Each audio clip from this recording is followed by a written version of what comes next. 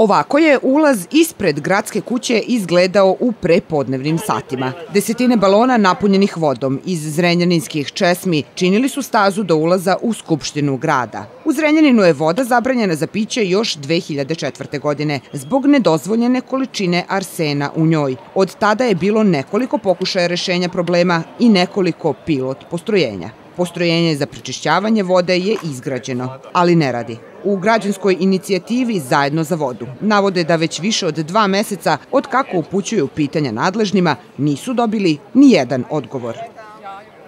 Odgovorni su svi dok ne kažu ko je odgovoran. Znači mi imamo potpisan ugovor koji je nezakonit.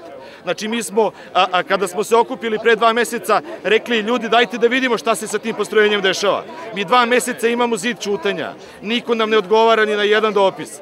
Znači, a, a, dok god neko ne izađe od ljudi koji sede u ovoj zgradi iza i ne kaže odgovoran je taj i taj i taj i taj snosi i moralnu i političku i krivičnu odgovornost, do tada su svi odgovorni. Veliki broj ljudi nije upoznat sa svim ovim što se dešava. Ljudi su postali apatični, prestali su da veruju da je moguće, da je moguće bilo šta rešiti.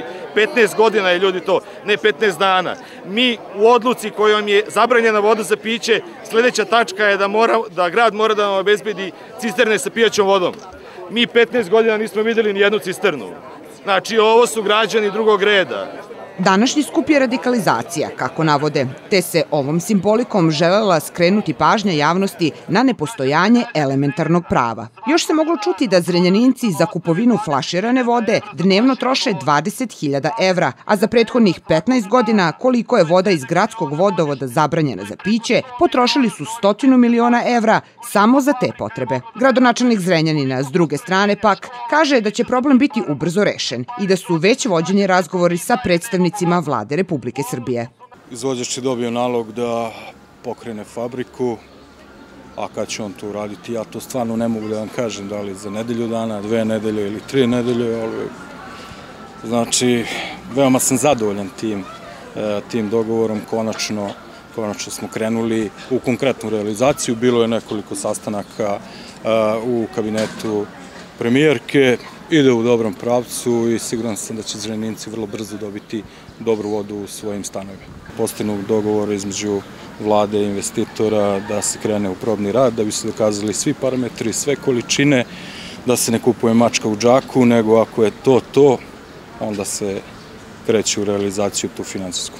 Kada se svi parametri postignu, kada izvođač dokaže da će Zreninci imati zdravu, e, zdravu pijaću vodu u svojim stanovima i kućama po srpskim standardima, onda će se dogovoriti i oko financijskog dela. Ti ljudi koji su organizovali uh, ovaj skup, 12 godina su vodili ovaj grad, pa nisu završili fabriku vode.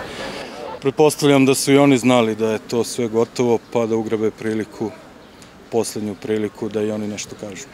Umeđu vremenu, stigao je i odgovor grupe Zilio koji vam prenosimo u celosti. Dana 23. maja 2018. godine održan je zajednički sastanak predstavnika investitora, grada Zrenjanina, banke davaoca kredita i vlade Republike Srbije, povodom rešenja problema početka rada fabrike vode u Zrenjaninu.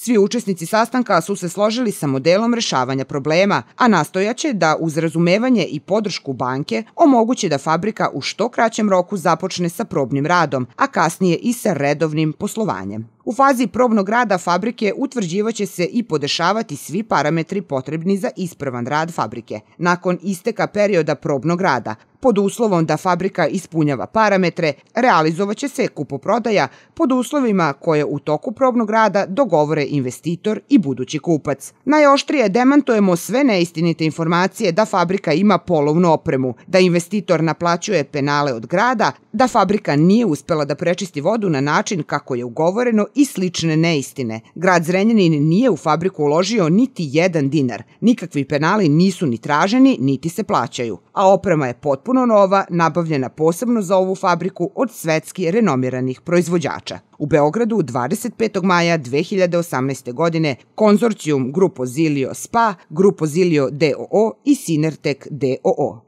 Petak, 25. maj, izgleda da je bio dan za zrenjaninsku vodu. Opozicija sa svojim zahtevima, vlast sa svojim odgovorima. A da li smo došli do konačnog rešenja dugogodišnjeg problema? Pa, to ćemo saznati u nekom narednom periodu.